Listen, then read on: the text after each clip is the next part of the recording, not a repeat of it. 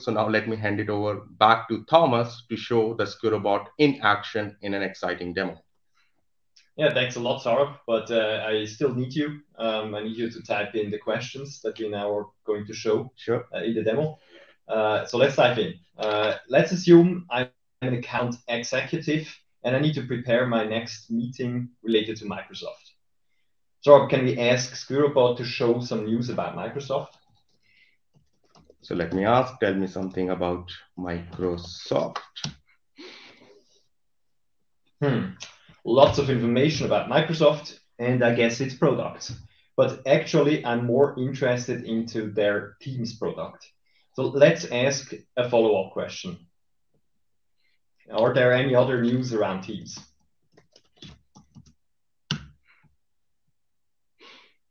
Cool.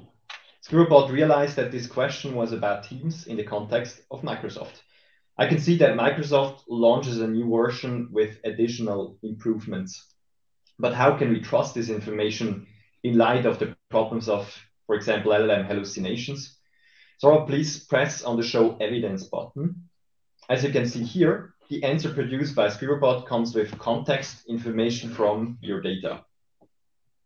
You can also click on the evidence uh, and by clicking this button, we will see the most relevant snippets extracted from the data using Squirro's information retrieval. Moreover, the most relevant one was highlighted before in, in yellow color.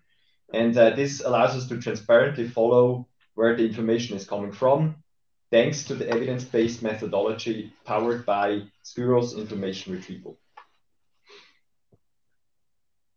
But uh, the skeptic in some of you might make you wonder how what you saw before is different from asking with Bing or you.com. We will probably get similar answers there, right? Note that what you've seen and interacted with on these sites is publicly available information. But you are all here because you want to know how this works with your own private data. In order to showcase this, we have taken the data from our live Confluence system, which is our internal wiki, and ingested it into the SquirroBot. So how about we head over to our internal chat now? And let me show you a small example from our internal wiki. Let's assume again that as a new engineer at Squirro, I would like to go on vacation. So let's ask SquirroBot, what is the vacation policy?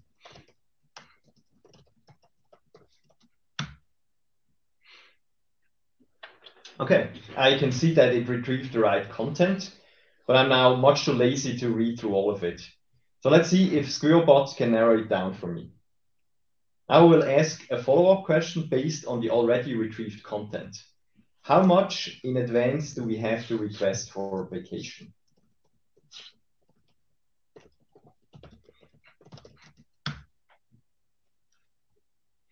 Hmm. And for vacations of one week or more, it is beneficial to ask at least a month ahead for a chance to get approval. Nice, but now the question is, who should I contact for getting vacations approved for engineers?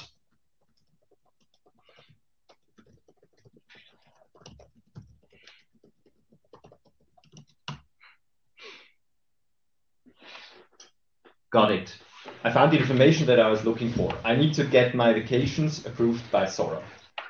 Now, again, I would like to find out where this information is coming from. By clicking on the button, I can see the highlighted fragment that shows me the source. And by clicking on the snippet, I can also see the document in Squirro's Enterprise Search. And finally, I can also navigate to the original document in our internal wiki by clicking on the title.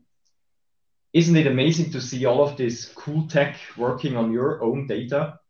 Since all of this is already available as part of the Squirro platform, you can easily go and integrate it into the CRM or other end user systems of your choice. For a change of pace, let's jump over to the Salesforce integration. Now again, let me give you some context. I'm here in our live internal Salesforce environment and interested into the Salesforce account itself. So let me navigate into that account. Now I can see a call note that Stephen recently logged into the system. Let's open this up. Okay, we see that Stephen noted down the attendees, the discussion points, and the action items of the meeting. So let me navigate into that account where we already have a Squirro Sales Sites integration working and operational, but unfortunately, not enough time to jump into that today. So let's jump straight to the chat where we will find our familiar SquirroBot in action. Let me just ask a simple question. What was discussed with Livia in the last meeting?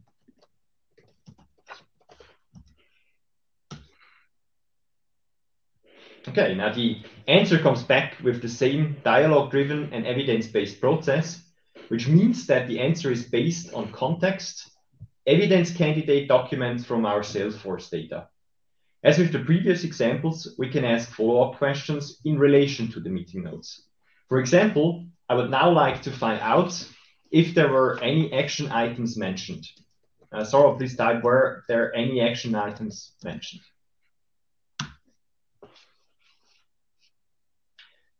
Okay, again, it comes back with the right answer. So in the last meeting with Livia, the action items were to provide a detailed breakdown of expenses by the end of the week and send over information on additional services that the company offers. But now let me also show you the evidence candidates behind it. Uh, Saurabh, if you click on the Show Evidence button, we again see the right snippet highlighted at the top from Stephen's call notes talking about the action item. And of course, like always, I can click on it to navigate to the full document. Now, what you saw eh, is all Squirro power, SquirroBot power integrated into the workbench of your choice in an enterprise-ready fashion. Let me now hand it back over to Dorian for the survey results and the final wrap-up and guidance on how your enterprise can be at the forefront of this very exciting technology using Squirro. Thank you, Thomas. Uh, thank you, Sarah. I'm still taken aback. Uh, everybody talks about ChatGPT being the answer to all questions. And then if you look at it a bit more closely, A, it's old stuff, only to 21. B, it's not at all on your own data. And you just answered me the question that always bugs me as uh, the CEO of this company.